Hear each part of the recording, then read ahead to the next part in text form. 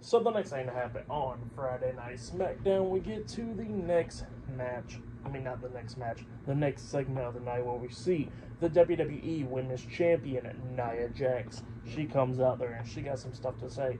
She says that Nick Aldis pretty much says that she got to defend her Women's Championship at Bad Blood, but she don't know who she's going to be facing it, uh, you know, defending her title against.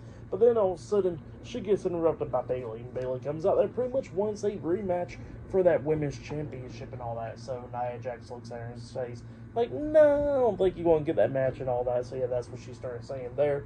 But then all of a sudden, they get interrupted by Miss Money in the Bank, Tiffany Stratton. Tiffany Stratton comes out there, and Tiffany was talking about how Bayley can't demand Nia Jax a women's championship match and how she lost the women's title already to Nia Jax and all that.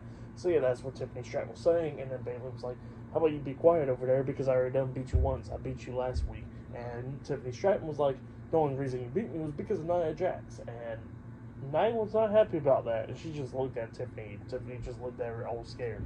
So yeah, that's what happened there. And then Nia Jax was like, I know what you're trying to do and all that stuff. But then all of a sudden, Naomi comes out. Naomi pretty much wants a women's championship match against Nia Jax because she says it's been a minute since she had gold around her waist.